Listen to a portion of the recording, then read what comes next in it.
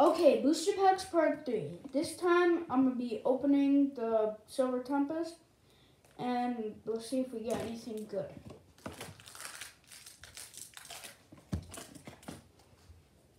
So, here you go. Tornado, Interior, Spinda, Klink, Galley, Pikachu, and Pizza.